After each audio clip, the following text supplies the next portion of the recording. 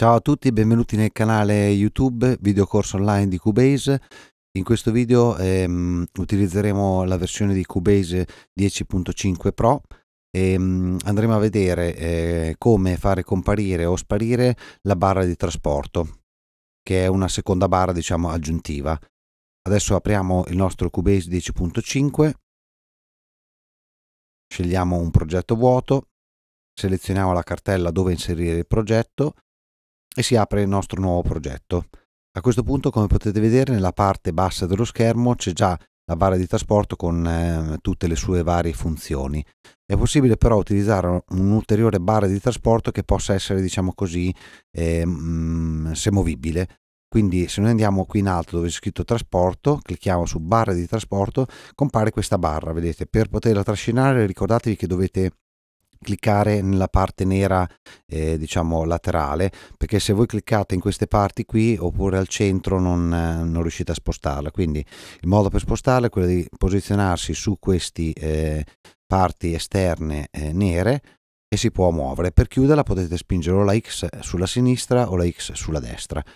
Quindi per richiamarla di nuovo trasporto barra di trasporto e ricompare.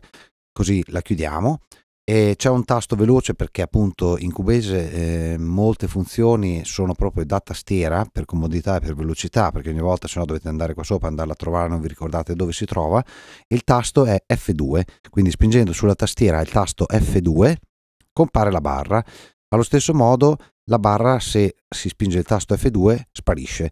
Quindi molto spesso nelle versioni precedenti, quindi che non avevano diciamo l'ancoraggio qua sotto della barra di trasporto, ma c'era la barra appunto eh, che si poteva spostare all'interno della videata, succedeva magari spesso che uno prendeva contro al tasto F2 inavvertitamente e non trovava più la barra di trasporto. Quindi ecco, se vi succede, se vi sparisce la barra di trasporto, ricordatevi che semplicemente dovete spingere il tasto F2 e la vostra barra di trasporto ri ricomparirà. Per questo video è tutto, io vi ringrazio per averlo visto, eh, vi ricordo di, mm, se vi piace, insomma, di lasciare un like e di mm, scrivere un commento se avete bisogno di ulteriori informazioni o domande, eccetera.